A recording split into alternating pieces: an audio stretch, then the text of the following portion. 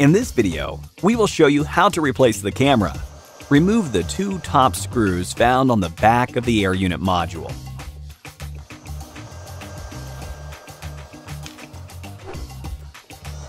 Gently lift the cables.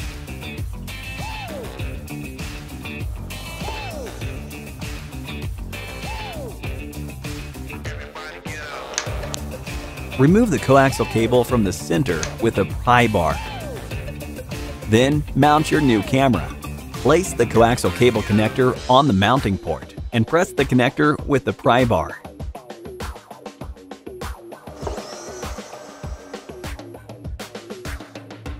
After straightening and arranging the cables, close the protective cover and fasten the screws to finish replacement. Thanks for watching.